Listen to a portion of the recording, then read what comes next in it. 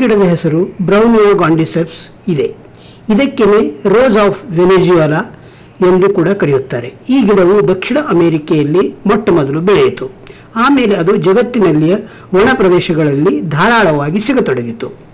ಇದು ಒಂದು ಮೆಲ್ಲ ಮೆಲ್ಲನೆ ಬೆಳೆಯುವ ಗಿಡ. ಹಾಗೂ ಕೊನೆಯಲ್ಲಿ ಇದರ ಎತ್ತರ ಇಪ್ಪತ್ತು ಅಡಿಗಳಿಗಿಂತ ಹೆಚ್ಚಾಗಲಾರದು. ಮೊದಮೊದಲು ಗುಂಪಾಗಿರುವ ಈ ಎಲೆಗಳು ಬಿಡಿ ಬಿಡಿಯಾಗಿ ಹೋಗುತ್ತಾ, ಪಿಂಕ್ ಹಾಗೂ ಬ್ರೌನ್ ಬಣ್ಣವನ್ನು ಪಡೆಯುತ್ತವೆ. ಗುಲಾಬಿ ಬಣ್ಣವನ್ನು ಪಡೆಯುತ್ತವೆ. ಇವು ಕಂದು ಎಷ್ಟೋ ಸಲ ಕಾಜಿನಂತೆ ಪಾರದರ್ಶಕವಾಗಿರುತ್ತವೆ. ಇದಕ್ಕೆ ಕೆಂಪು ಹಾಗೂ ಕ್ರಿಮ್ಸನ್ ಬಣ್ಣದ ಗಂಟೆಯಾಕಾರದ ಹೂಗಳ ಗೊಂಚಲು ಬರೆಯುತ್ತದೆ, ಬರುತ್ತದೆ.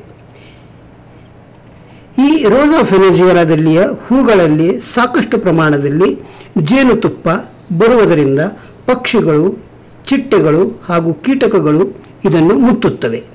ಇದರ ಬೀಜಗಳು ಎಂಟು ಹತ್ತು ಇಂಚಿನ ಒಂದು ಕಾಯಿಯಲ್ಲಿ ಅಡಗಿರುತ್ತವೆ. ಇಲ್ಲಿ ನೀವು ಈ ಕಾಯಿ ಇಬ್ಬಾಗವಾದನ್ನು ನೋಡಬಹುದು.